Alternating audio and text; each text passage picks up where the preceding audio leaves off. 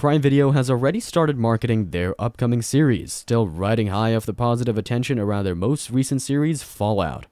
The first official image of Dave Bautista and Chloe Coleman from the upcoming movie My Spy, The Eternal City, was released by the website that streams movies. The film, which was directed by Peter Segal, also features Craig Robinson, Anna Faris, Kristen Schaal, and comic icon Ken Jeong, along with Segal, Erich, and Jon Hoeber, who previously collaborated on both of the Meg films starring Jason Statham, penned the script directly following 2022's My Spy, which presently has a 48% critics rating and an even smaller 39% audience rating on Rotten Tomatoes is this film. To learn more about the specifics to learn more specific details about this amazing series, watch the complete video.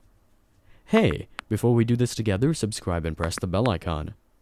When will the amazing movie be released? The production house has published the release date for the sequel movie. Though there are many projects to keep you occupied, loyal audiences are waiting for their favorite movie. Fans can enjoy their favorite sequel movie on July 18th when My Spy The Eternal City becomes exclusively accessible on Prime Video. So, My Spy The Eternal City will be released on July 18th. We will update you about any changes.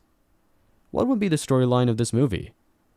In the 2020 film was released in which in which Dave Bautista plays JJ, a tough CIA agent who finds his match in Sophie, Chloe Coleman, a determined 9-year-old whose family he is assigned to monitor. The follow up, which will be available on Prime Video, follows JJ as he chaperones Sophie's school trip, only for the two of them to become embroiled in a terrorist conspiracy that targets the CIA chief.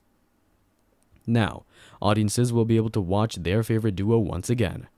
Reunited by popular demand, My Spy's powerful duo, veteran CIA officer JJ Dave Bautista and his protege Sophie, a 14 year old stepdaughter, reunite to safeguard the world when their high school ch- when their high school choir tour of Italy is derailed by a plot to destroy the Vatican with nuclear weapons. When there's more information made available, we will update you about it. To stay updated by your favorite series, movies, or shows, subscribe and press the bell icon. Also, like and share our videos with your friends and family.